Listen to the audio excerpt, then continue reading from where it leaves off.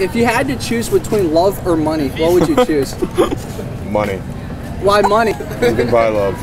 You can buy love. Interesting. Easily. What, a- what about those people who say that if you choose love, then you can always make the money? Those people don't have money.